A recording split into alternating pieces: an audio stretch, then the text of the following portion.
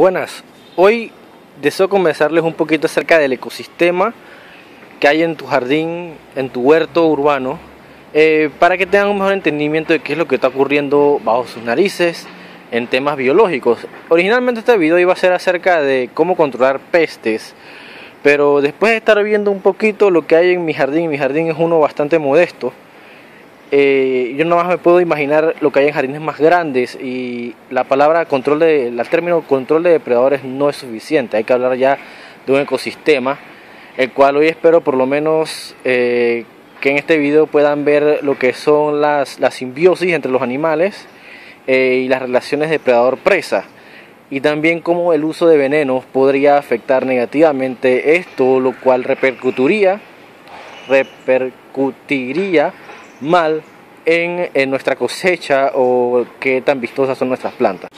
Este es un árbol de níspero, una especie nativa de Panamá que se da muy bien en nuestros bosques, eh, la fruta es comestible, es un árbol muy vistoso. Y aquí se puede ver todo el ejemplo de lo que es el ecosistema. En el tallo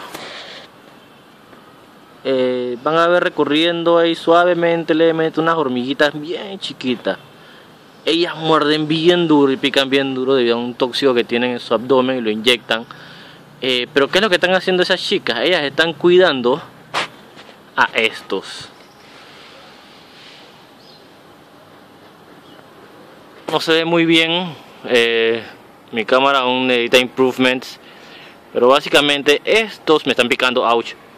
Estos son pulgones. Si los buscan en internet, pulgones áfidos, los van a poder encontrar.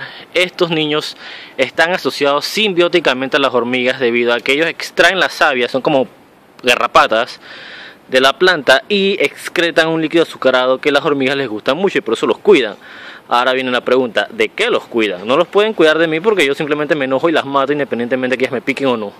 Ellas la cuidan de un depredador, de un depredador un poco más insidioso. Uno de estos es esta especie que no he podido identificarla porque nada más he visto los huevos y a las larvas. Veo un pequeño punto blanco al final de esta hoja. Disculpen nuevamente la calidad de mi cámara. Eh, este punto blanco es un huevo al final, era un huevo al final de un hilo de seda. Por la literatura que he visto, eh, aquí hay otro. Aquí hay otro, ahí se ve muy ligeramente se ve y me disculpa nuevamente. Estos son, en la literatura que he visto, estos son huevos de depredadores. De hecho, son tan viciosas las larvas cuando salen del huevo que devorarían a sus hermanos si los huevos estuviesen colocados uno al lado del otro de la misma forma que lo hace una gallina. Así que eh, para evitar eso la madre los pone, no solamente los pone al final de un hilo, sino también los pone uno en cada hoja separado para que no se encuentren hasta que los dos tengan más o menos la misma edad. Eh, y se alimenten unos del otro. Ahora mismo todas estas plantas tienen unos tipos de parásitos, eh, ya sea pulgones o mosca blanca, eh, pero estos depredadores las mantienen bien a raya. En esta hoja de cacao pueden ver moviéndose suavemente a la larva, habiendo salido del huevo, me disculpo nuevamente por la calidad de la cámara. ya está buscando por ahí a quien comerse había tres huevos en esa hoja, me imagino que ya devoró a sus hermanos y ahora está buscando eh, algo que comer, aparte de sus hermanos.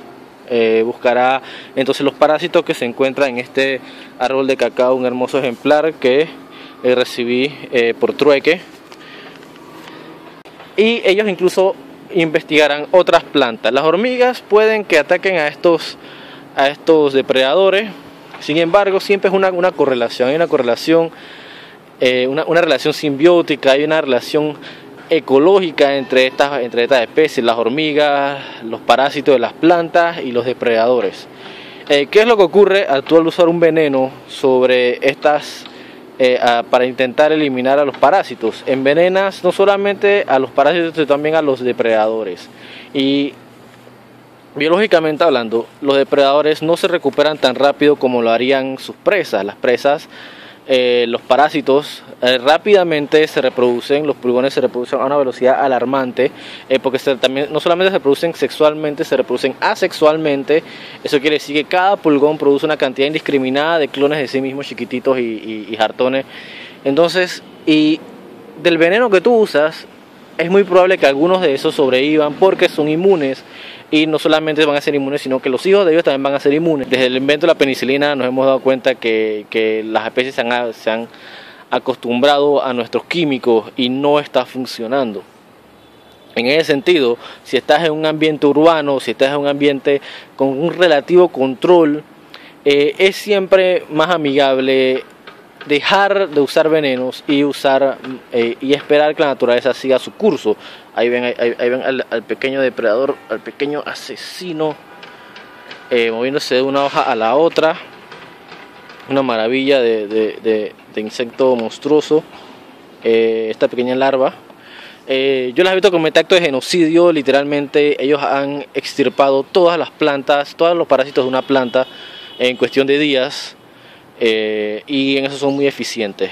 Entonces, ¿qué es lo que tendríamos que hacer nosotros como una nación que necesita eh, disminuir el precio de la canasta básica?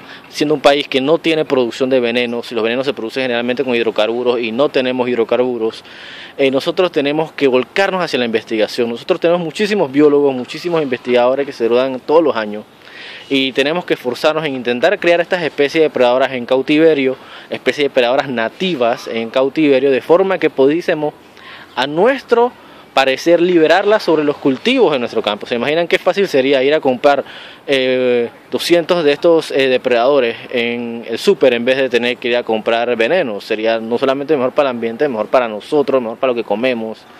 Eh, y está al alcance de la mano. El, humano tiene la capacidad y tiene la tecnología y tenemos, la mano falta es la voluntad de decir, hey, vamos a empezar a cultivar estas especies depredadoras para domesticarlas y hacerlas las guardianes de nuestro jardín. Eh, espero que este pequeño dato les sirva a ustedes en su jardín, empiecen a observar más qué está ocurriendo alrededor suyo y sean capaces de tomar mejores decisiones a la hora de cultivar sus plantitas. Y sin más, eh, sigan sembrando. Este es Carlos de Productos Orgánicos Panameños.